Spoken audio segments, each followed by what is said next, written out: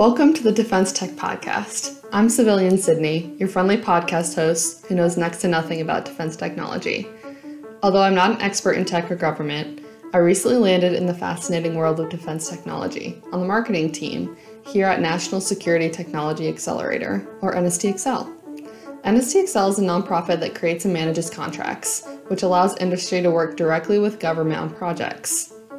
In this podcast, I'll be sitting down with insiders and experts in the defense tech space to explore what's at the forefront of technology and security in the United States. In this series, I'll be interviewing five guests that have valuable insight into this topic, each of them bringing a unique perspective to the problems currently facing our national security. So, thank you for joining us in this series. And without further ado, I hope you enjoy this episode with Stephanie Lin, the new director of Microelectronics Commons here at NSTXL.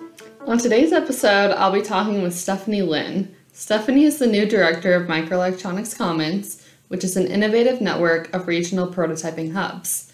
She has 12 years of Department of Defense legislative relations, policy, acquisition, and technical experience Previous to this role, she served as a Department of Defense contractor who advised and supported various senior leaders within the Office of the Secretary of Defense in anti tamper, hardware assurance, and microelectronics policy.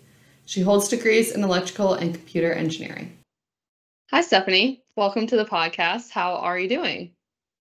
Hi, Sydney. Thanks for having me. I'm excited to talk about Commons today. Yeah, me too. Much like myself, you're new to NSTXL. Um, but very much unlike myself, you're not new to this industry. Can you tell us a little bit about your background?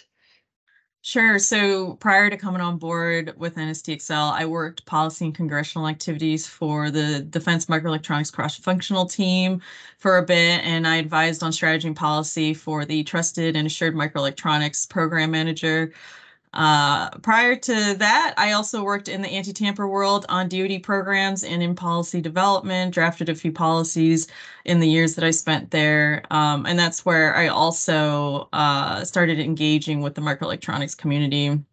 But, you know, over that time, I've watched congressionals on the topic of microelectronics and supply chain security uh, over those years and have gone through the painstaking wills and shalls mm-hmm. of policy development, including, you know, seeing the split of AT&L into R&E and A&S and the evolution of microelectronic strategy at DoD.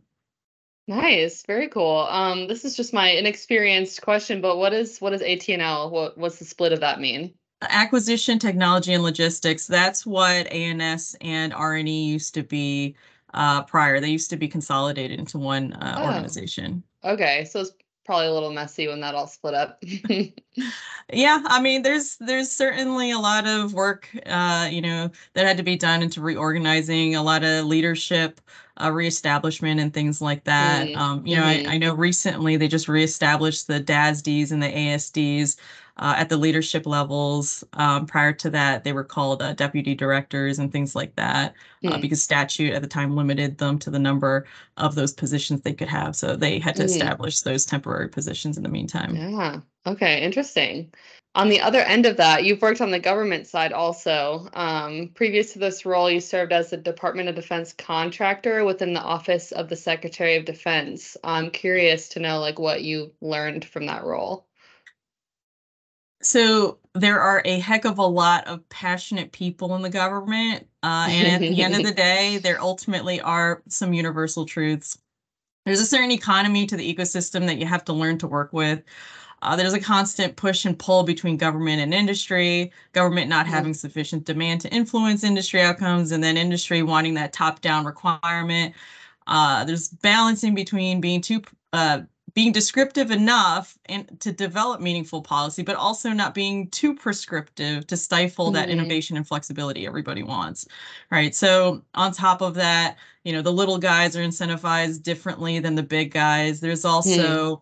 you know, there also needs to be a balance between the technical and the strategic mindsets. I think both should be able to provide input input uh, bridging the gap between the two of any of these is a careful game of defining objectives and understanding what motivates the two bodies to collaborate together, while of course being mindful of the political mm. changes that occur every four years. Um, you know, success is truly defined by the navigation of the art of people and processes when it comes to the Pentagon. Wow, sounds like you learned a lot. um, with all that experience, it, it really does sound like you'd be a really great fit to to manage the new program, the Microelectronics Commons program, um, which we'll talk about in a minute. But what made you decide to take this role? So, having spent so much time at the right hand side of the government and in its acquisitions, I wanted to immerse myself more on the private sector side to understand better mm-hmm. the challenges from that perspective. Uh, I know there are a lot of barriers to overcome and conversations to be had. And I truly seek out this mm-hmm. challenge because I know that's where the growth happens and the best lessons learned are obtained. Uh, the engineer in me appreciates overcoming adversity as well as the benefits from doing so. So I'd like to think that I have an opportunity to make an impact by bridging some of that dichotomy. Mm-hmm. And you think Microelectronics Commons can achieve that? I think there's a lot of opportunity to see what we can do when we bring the nation together to establish this technology pipeline and uh, workforce initiatives. Yeah, definitely. So, yeah, as the director of Microelectronics Commons, can you just walk us through what it is, what Microelectronics Commons is, how it functions, and what it hopes to achieve? Sure. So, you know, I've described it to some people as kind of being like a, you know, a superintendent trying to establish uh, a network of schools, right? You mm need hmm. to figure out where the locations are going to be. You're going to need to understand the resources, what technologies they're going to need, the textbooks they're going to need. Maybe some textbooks will share cross department, maybe mm cross schools you know so understanding um, some of what are those common needs are uh, you know, I, I, think one of the other really interesting parts of that analogy is the fact that, right, the, the intent of a school is to move students through and graduate them. Yeah. I think that same analogy can be used for technologies as we, you know, prototype.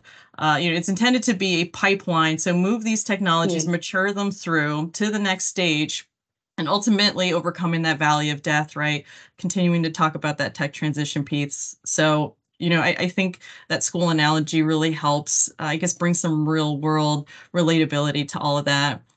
But, um, you know, using that analogy, the commons is structured to be comprised of hubs, cores, and a consortium manager, which is NSTXL, right? We had the eight uh, hubs that were announced, and the cores would be working as an integral part of those hubs as well.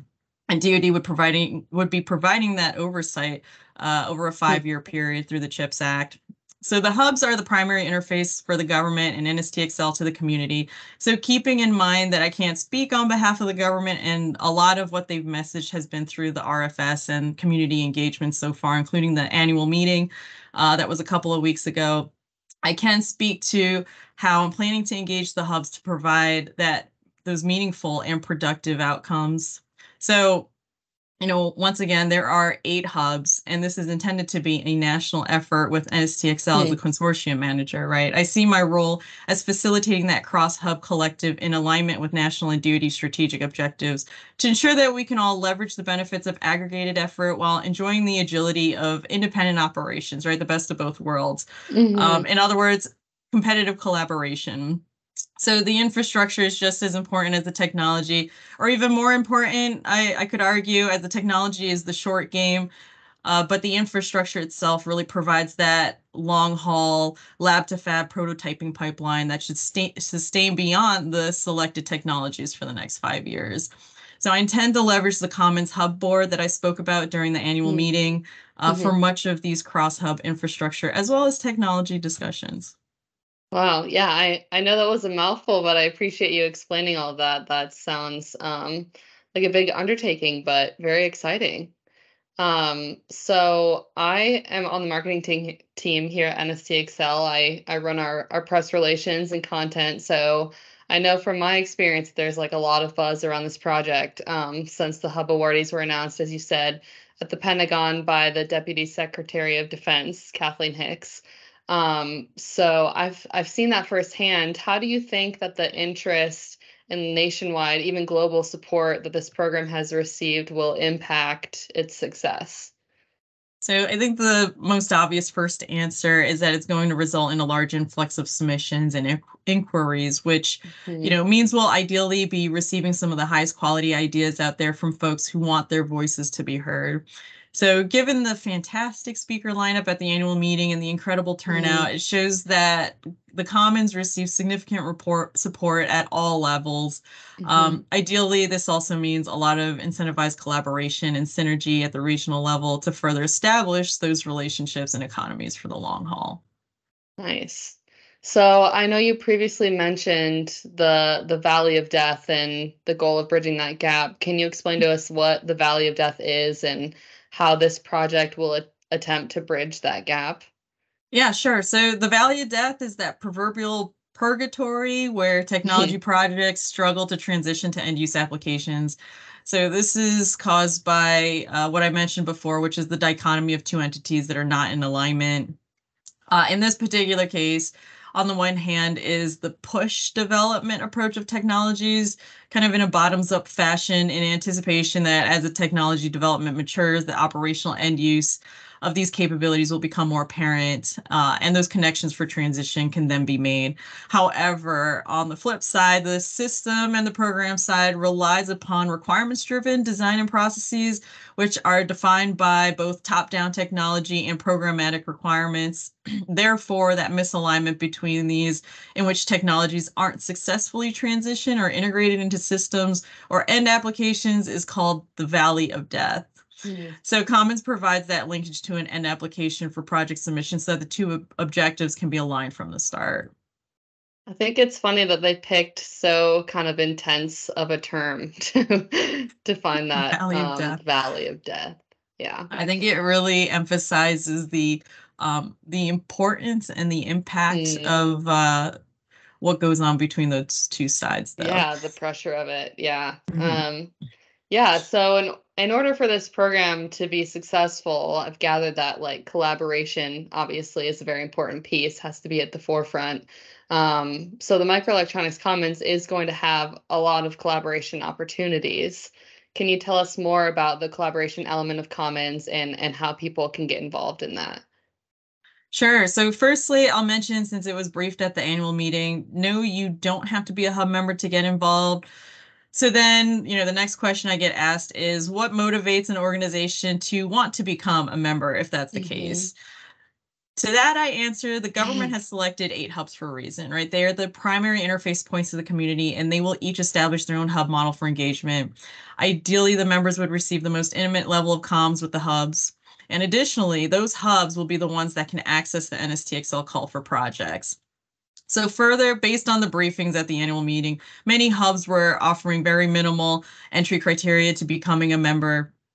And in addition to that, that Commons Hub board I mentioned earlier will be leveraged for cross-hub discussions and a representative from each hub will need to speak on behalf of their hub.